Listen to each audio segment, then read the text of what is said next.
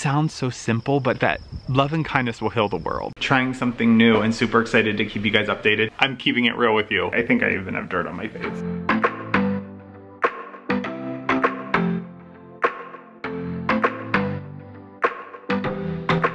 Good morning, everybody. It is a beautiful, beautiful Sunday morning. And um, yeah, I'm just outside. Every morning I've been doing like a garden walk and just checking on everything. Steven actually beat me to the watering today, so I don't have to water anything.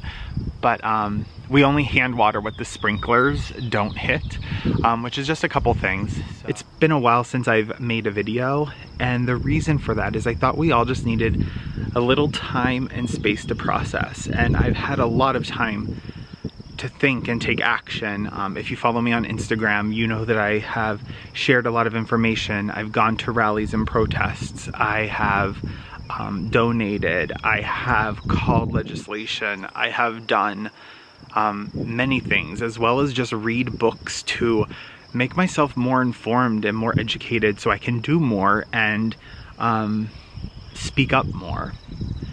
And what I've just named for you are multiple ways to take action. And I think for some people, not all those ways fit.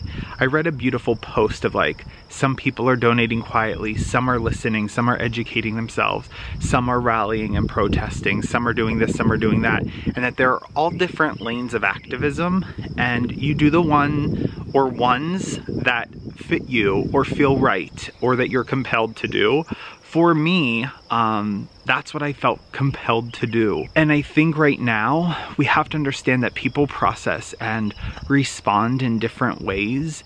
And I think now more than ever, we need to just show love and grace and kindness to everyone and allow them the space and the time to take the actions or fill the lane that they need to fill. You know that over on Instagram, I've been sharing a lot of information or just resources to educate yourself and I thought what better way than to leave a link of resources in every video um, from here on out um, for multiple causes that we need to be more educated around.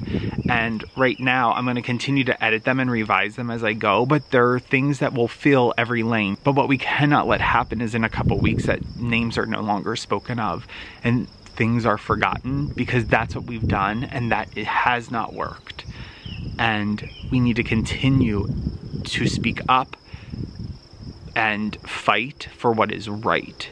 This is not a political thing. And I think that's what has kind of stung the most. I've gotten so many comments around like, why are you making this political? Why are you politicizing this? To me, this is not a political thing. This is a human rights issue. Um, and I believe that every good human being wants everybody to be treated equally and fairly and justly and for everyone to feel safe going to the corner store. This is just being a good, decent human being who wants the same for everyone. That's what it is. So give people grace, give people kindness. Seek more to understand and support them where they are than to be offended by what they say. Um, to show love and kindness. It sounds so simple, but that love and kindness will heal the world. All right, let's head inside. This morning, I have a new routine to start, and I've been holding off on starting it until we could all do it together. But I have something sent to me, so let's go ahead and unbox it. I was fortunate enough to be reached out by Teami and they sent me the Detox Starter Kit. So I wanted to unbox this with you um, and get started on this. It's a 30 day process. So I'm gonna do my first initial thoughts right now. Then halfway through, I'm gonna do like a little update and then I'll do like a 30 day review. But I'm super excited. This is the Detox Starter Pack. Their packaging is awesome. Like it's a little magnetic box, totally reusable. Um, so first thing is this tumbler on the go. Let's go ahead and check this out. They put a little compartment on the bottom of your tumbler. So like you could throw like your gym pass in there um, because mine's just a little tag. You could throw like vitamins, um, a sweetener, if like packs if you wanted to. You could really like throw anything in there, which I find really awesome. I love that idea of like having that little compartment there. I love it. I love it so much. And then, aww. All right, so the 30 day detox plan. Drink the Teami skinny tea in the morning, best before breakfast to boost your metabolism, raise your energy, and suppress cravings naturally. Reuse your Teami leaves at least one to three times. So like in one serving, you can reuse those leaves one to three times. That's awesome. Drink six to eight glasses of water throughout the day, totally doable. And then at night, you take Teami Colon before bed, starting on day two of your detox program, so not today we save that one for later. That one's already pre-bagged. Um, steep it for one to three minutes and then steep it longer as you continue. They sent a 30 day tracker with it so you could check off each day so you know exactly what you're supposed to be doing because you only do this the colon one two days a week. That's genius. So today I'm just doing the tea and they also how wonderful. They also sent me a little tea steeper. I never know what to call them, but it's, that is adorable. I love it. They were super kind and they offered me a discount code, Allen25. You can get 25% off your order. I left a link down below. I left the code down below. You can do all of that. Um, so I'm super excited to be working with them and really testing out their products and giving you like a really honest review of them and see the benefits that come up with the first 30 days of this. So super, super pumped. While my tea is going, I'm gonna go ahead and clean the tumbler so I can use it because I really, really like it and I think it's super cute. So I'm gonna clean out the tumbler, uh, get ready to steep my tea. I might actually just steep it in a Pyrex, um, like large measuring cup like this, trying something new and super excited to keep you guys updated and super excited to be working with Teami. Once again, discount code Allen25. If you wanna join the journey with me, let's do this.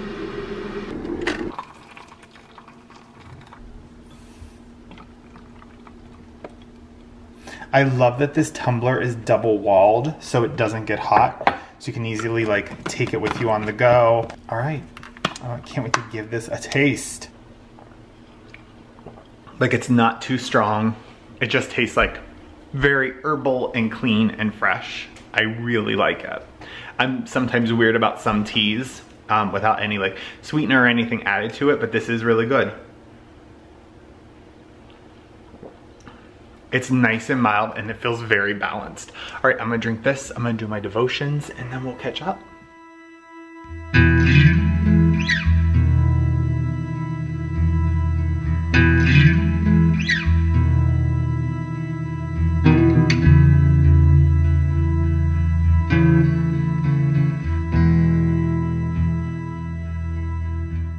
I realized that I forgot to water this and the sprinklers don't hit this little section, but now the sun is out. So I'm to be really cautious and just water the base of the plant and get as close as I can to the, the root ball.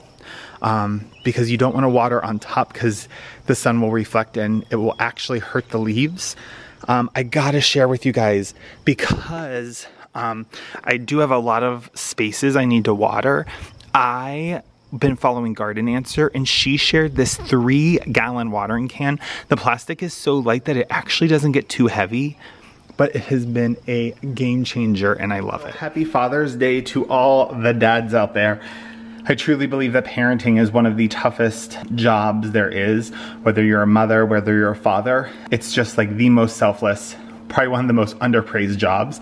Stephen, jokingly, because I am a father to a fur baby, Um, he got me the patchouli diptyque candle for Father's Day. He had it beautifully wrapped and it was delivered. Um, it smells really good too. But he's like, I got you a Father's Day gift. Let me tell you what is big on my list of things to do. So my parents are gonna be coming around the 4th of July now that things are reopening. And this room, their room, has literally, it looks a mess. Um, it has become like a catch-all for like every piece of furniture I've moved out of a space. So it no longer really goes with anything. What we're doing is that TV is actually getting mounted on the wall this week, but I need to make some changes in here. Literally that reindeer deer is a Christmas decoration and I've never taken it down. So we are going to shop our house because I don't want to spend a dime in redecorating it because it's only used when my parents are here. So what we're going to do is we're going to scour the house and find everything that we could possibly use. We're gonna put it here. We're going to redecorate this room. literally dripping sweat. Um, the reason is, is I have basically carried all the furniture that was in here down two flights and then moved other furniture. Um, I'm keeping it real with you. This might be my workout today. Let me flip you around and show you what I've done so far. I removed all the furniture that was in here previously except for this. What I'm thinking is I want to bring in a lot more like warmth and neutrals around this space because it's so gray it doesn't go with the house. So the one thing I am thinking of purchasing is a warmer like camely colored drapes for this room if I can find something that's perfect. What I've done so far is this is a piece that we used to have in our living room before we bought our sectional. It's from Pottery Barn. It's so high quality and it's not been used. And like, look how beautiful that top is. So I moved that in here. I love the mix of that wooden lamp. And then I moved this from my office because it also brings in like that warmer tone. I need to move it over a little bit. And it gives enough balance because I don't like matchy matchy nightstands for the most part. Um, I like to mix them up and they still kind of really cohesively go together. And now I'm just thinking about how to accessorize the space. So this is what I was able to find scouring the house. So I have a lot of options. That large basket, I think I want to replace with that mirror to bring in like more warmth. And then, yeah. All right, I'm gonna just start playing with this and then get back Hanging three pieces of art, it is so hard to get them even, so I wanna share a quick tip with you. I grabbed a piece of painter's tape, and now I'm going to hang my center one and just space out my other two with nails, and then pull, take them back down, pull the tape off, they're done. So there, I have them all evenly spaced. They're all level with each other. And now I can just pull the tape off and yeah, they're good to go. Here I am with the bedroom so far. I do need to take some painter's tape and tape those lamp cords to the bottom of the table. That way I you don't see the wires and I hate wires. Let me show you what I've done. One thing I love to do is hang a picture in a non-traditional spot. So most people would put this up high, but I love the fact that it's a little hidden. You have to move to read the whole thing. It makes like more of an experience, but I also like that it looks more layered.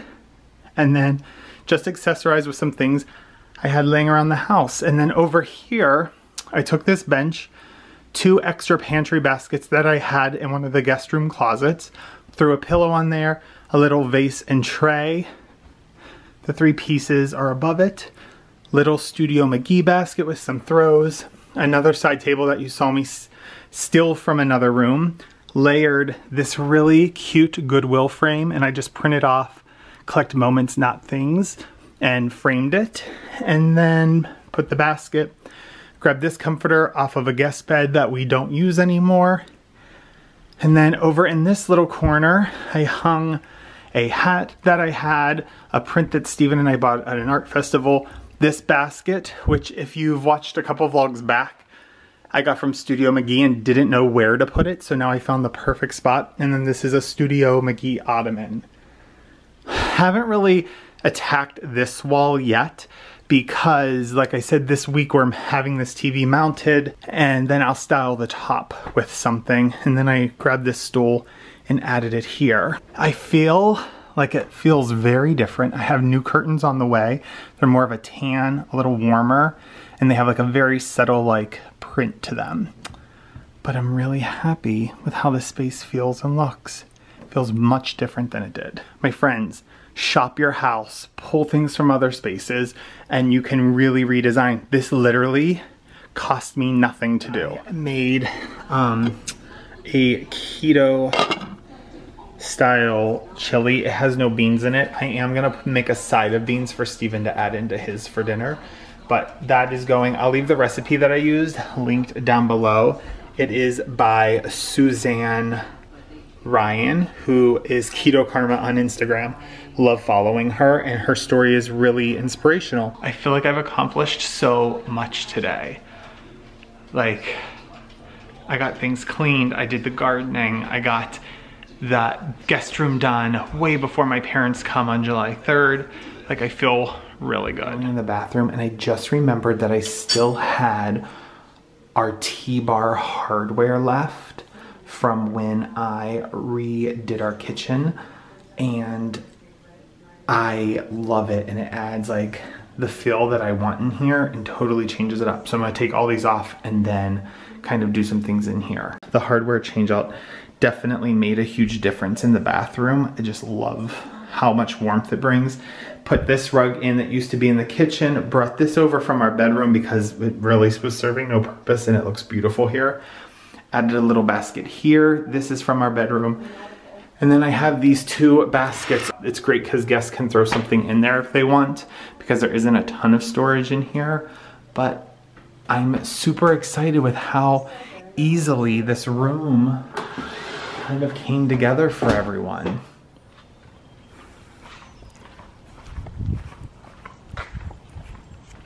I am out here at our fire pit area and I really want to just clean all of this up and make this a little bit nicer of a space to use. So I want to weed all of this and just make it look a lot better. I am nervous because Steven said he planted sunflowers, but I'm not sure what's a sunflower and what's not.